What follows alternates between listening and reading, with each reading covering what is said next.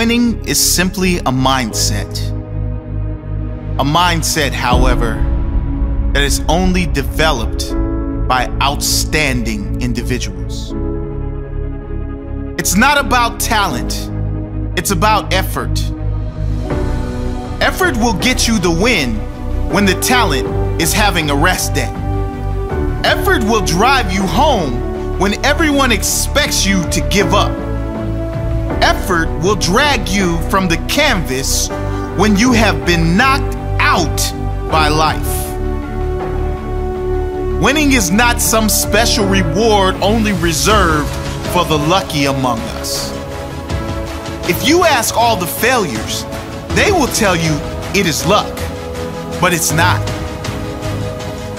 Winning is a reward you receive when you have put in the hard work when no one is watching. Winning is for champion attitudes and champion hearts. If you throw me to the wolves, know that I will return leading the pack. It only takes one moment to decide you are going to be a winner. One moment is all it takes. Only takes one moment to make a decision. One moment to say no, to say never again. Never again will I settle. Never again will I accept anything but first place. One moment to be strong.